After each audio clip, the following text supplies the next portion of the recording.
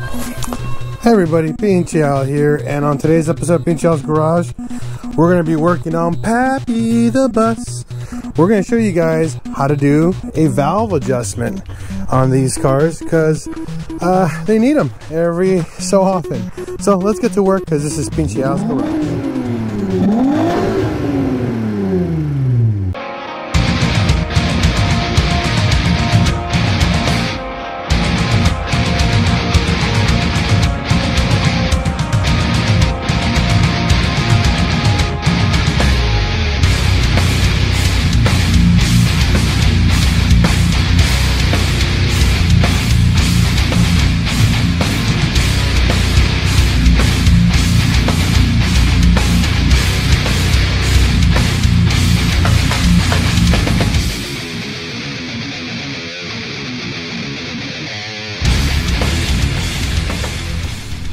So before you get started, make sure you take off your distributor cap. Get yourself a big old crescent wrench. Find out where uh, cylinder number one is. So on your spark plug wire, on my engine, since uh, when they built it, they kind of messed up on the timing on here. So mine's actually about, it's clocked one uh, cylinder over. So cylinder one is actually pointing right at me. Uh, traditionally, cylinder number one is actually right over here. It's uh, one uh, cylinder to the right. So if you see your distributor cap on, traditionally this will be cylinder number one and this one will be two. Uh, so again, eh, right now this is number one. so get your um, uh, your get this open, get it to, to see this, follow your wire, and then know which one is cylinder number one. Then you're gonna crank your engine clockwise. Make sure your engine's cold. You don't wanna do this hot. Uh, click, uh, crank it clockwise until you get to cylinder one, TDC. Now on this motor, uh, this pulley, I don't have a TDC mark. I have a BDC, but uh, the MP logo on this uh, pulley is our TDC mark. So TDC stands for top dead center.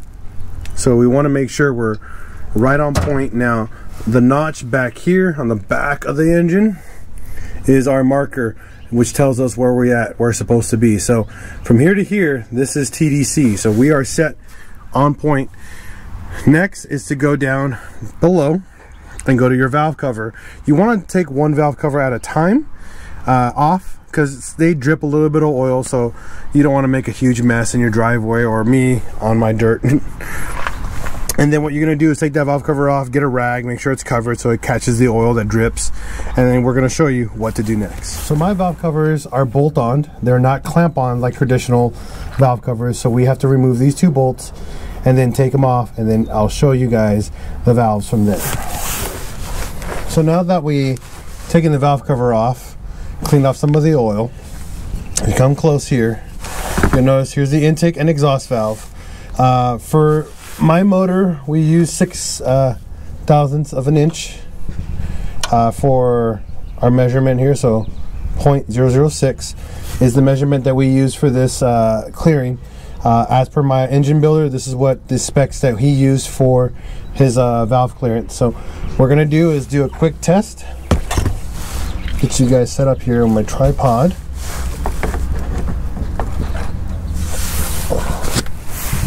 Now what I'm going to do is going to feel for the intake and exhaust valves to make sure they are either in spec or not. So right now, I'm going to push back on these guys. So intake is really stiff. I think exhaust is about the same too. Yeah, I can't even get them in there. Oh, here we go. Yep. Now it's loose. There we go. Same with this one. Pretty loose, as you get to see that. I shouldn't be able to slide them too easily. You gotta be to get them in there and they should snag just a tiny bit. You should have a little bit of resistance, not too much. Um, and you'll see here, they just go in no problem. And they have no resistance at all. I mean, they're in there loosey-goosey. So it's been a while since I've done my valve adjustment. So good thing I came with the proper tools to do it.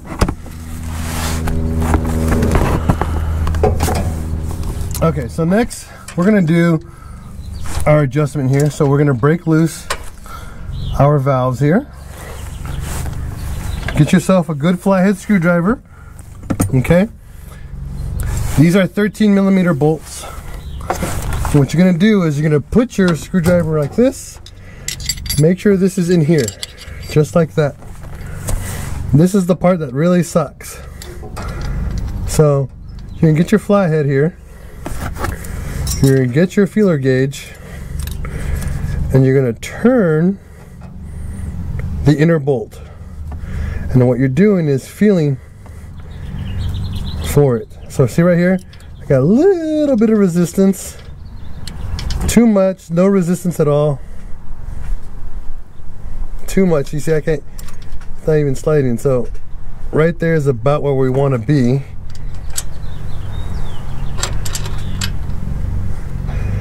And what you're gonna need to do and focus on this, don't allow the uh, the bolt to turn besides the nut. Because if not, you're gonna mess up. And you'll see here, we got a little bit of resistance and a little bit uh, smooth play. So that's what we're looking for in adjusting your valves. Over here, no resistance at all, sloppy, no bueno. So same procedure, grab that, feel for that and then too much resistance.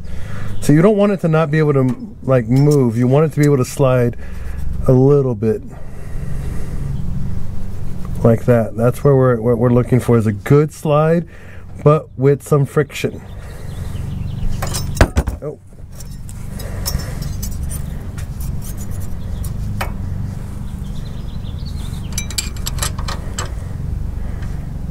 And while you're there, and then feel for it. If it's good, give it another snug yank on it.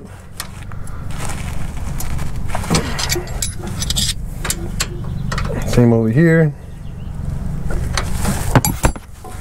Feel for it. That's good. Same thing over here. So what you're looking for is very, very little resistance, but you want some resistance. Um, for it feels like it's snagging a little bit.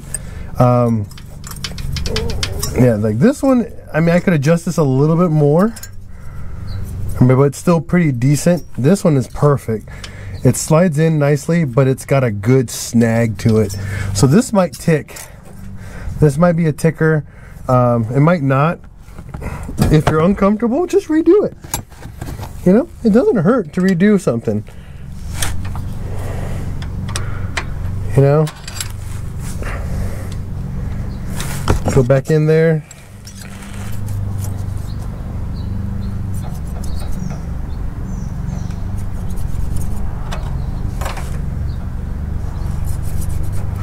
Like right there. Ooh, that's a good one.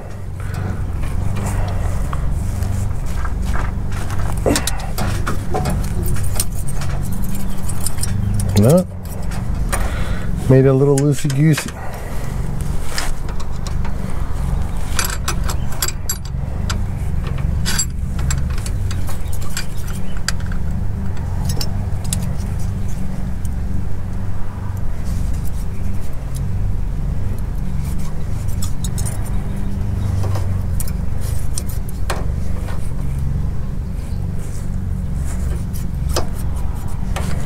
Let's see where we're at there.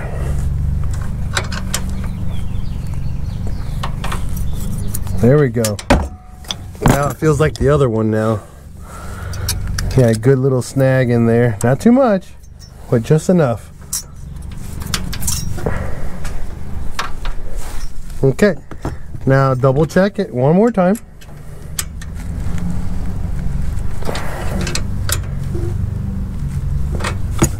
All good.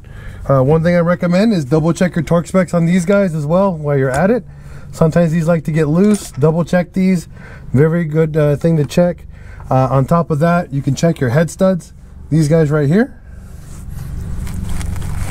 You should have a couple studs sticking out right here. Also recommended uh, to check uh, your torque spec on these while you're at it. Um, I did mine a couple months ago, so I'm good. Uh, so, but I again, I needed to do um, my valve covers, uh, my valve cover um, gaskets, and uh, obviously a new oil change as well. But that's the procedure. Next is to rotate the engine counterclockwise um, per, how can I say this, uh, per cycle. So what you want to do is make sure that you cycle it to one uh, cycle, and I'll show you guys what I mean when I get there. So now that we finished cylinder number one, we have to go backwards in the whole procedure. So what you guys need to do is legitimately just crank the engine backwards. So we're gonna go back one turn. All the way till you get to the BDC of the next cylinder. Too much.